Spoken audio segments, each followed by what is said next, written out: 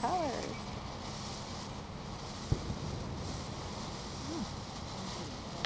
Got a lot of nice colors. Huh? Mm-hmm.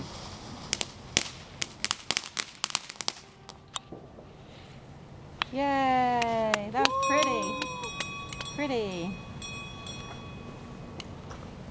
That's what those bells remind me of. What? When Ebenezer Scrooge is getting haunted by Marley. Oh.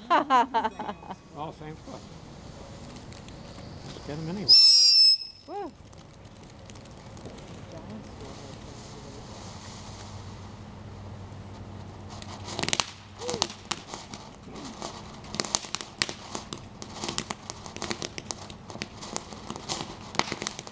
Bastard firefly.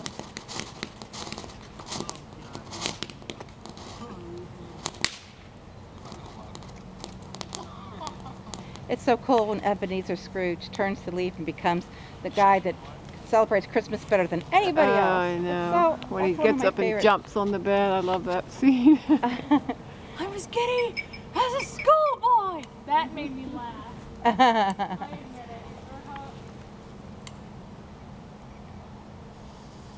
if there's hope for Ebenezer, there's hope for anybody.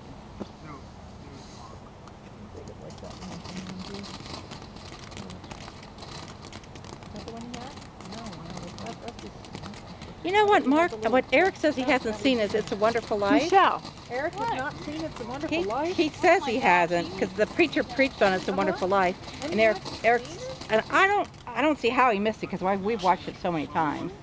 But then he's out of the